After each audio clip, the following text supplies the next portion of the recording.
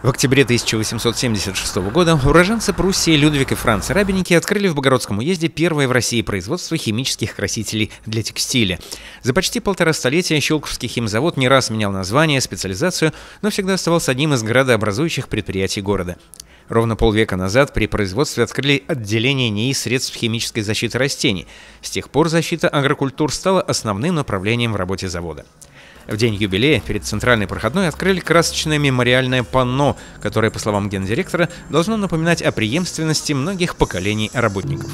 Вот предложили сделать такое э, красочное панно, которое будет каждому входящему за проходной завода напоминать о прошлом и заставлять думать о будущем.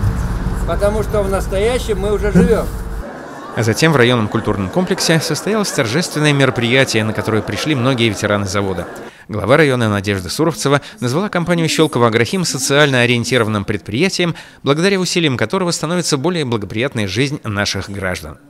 И все наши начинания хорошие, которые на детей направлены, на развитие города и района, они поддерживаются вашим предприятием и, э, так сказать, вы всегда вкладываете в это финансовые, материальные средства и свою душу. Поэтому вам низкий поклон за вашу социальную работу в нашем Щелковском районе. Спасибо. Коллектив Щелкова Грахим получил в день юбилея много памятных подарков и, естественно, прозвучали пожелания на будущее я, конечно, хотел бы пожелать именно сохранения традиций. Сохранение традиций – это означает, что э, не забывать о прошлом, э, помнить о э, ветеранах, напоминать э, им о том, что завод живет, помогать им чем-то. Вот об этом хотелось бы просто напомнить тем, кто является последователями того завода. А прошлое – это люди, да, носители прошлого, ныне живущие, может быть, даже ушедшие, о которых надо тоже помнить. Чтобы всегда Аграхим это звучало гордо, это звучало настолько сильно, чтобы мы всегда оставались эм,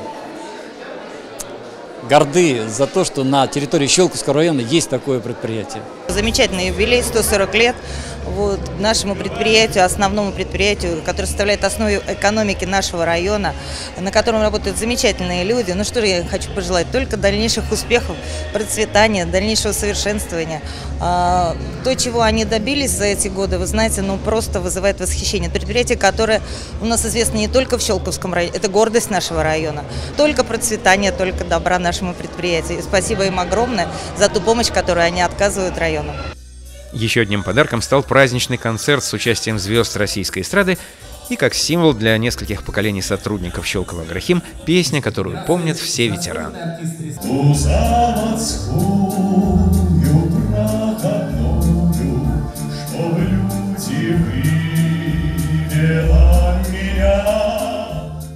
Сергей Тадыка, Михаил Черепанов, телерадиокомпания «Щелково».